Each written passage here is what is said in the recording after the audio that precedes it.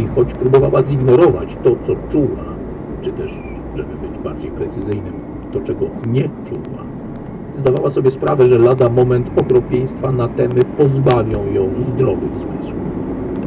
Miała już powiedzieć T3, że czas ruszać, gdy droid pisnął triumfalnie i schował sondę. Muszę wrócić na statek, powiedział.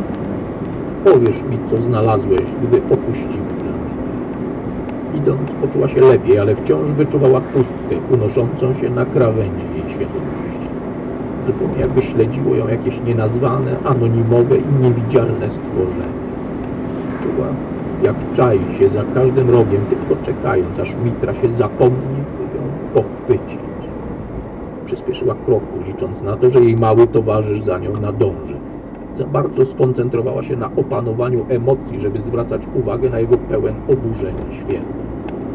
Choć nie zdawała sobie z tego nawet sprawy, do mrocznego jastrzębia dopadła biegiem.